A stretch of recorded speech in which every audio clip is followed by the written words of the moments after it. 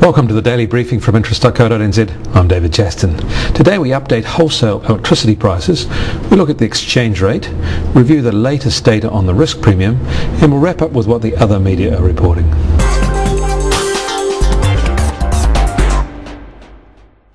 The wholesale cost of electricity fell to about its lowest level since February at the end of last week. This will have contrasted quite oddly with retail rates, as many customers have been getting price increase letters recently.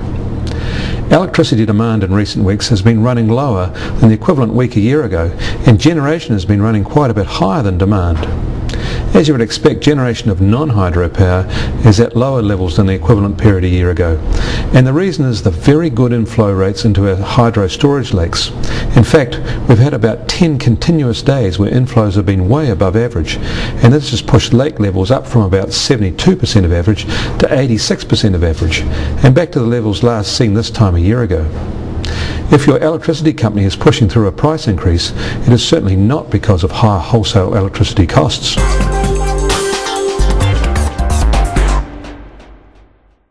The Australian dollar surged to a 23-year high against the US dollar and a 10-year high against the pound during recent trading.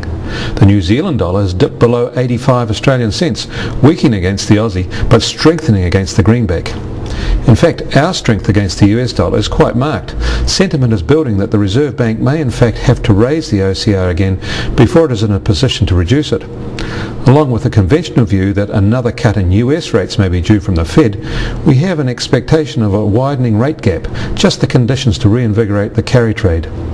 You'll remember the carry trade. It feeds on the expectation of a rising interest rate differential, and that drives our currency higher.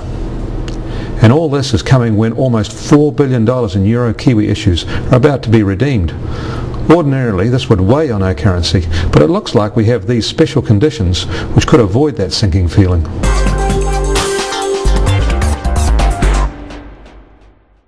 Our weekly update of the New Zealand dollar risk premium usually focuses on the one-year maturity. Today we want to extend that to look at the five-year maturity.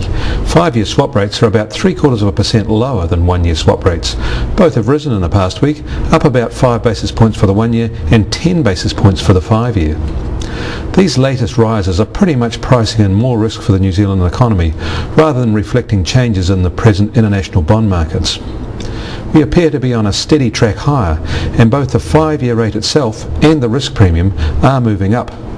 Expect five-year mortgage money to cost 9% or more within the next month.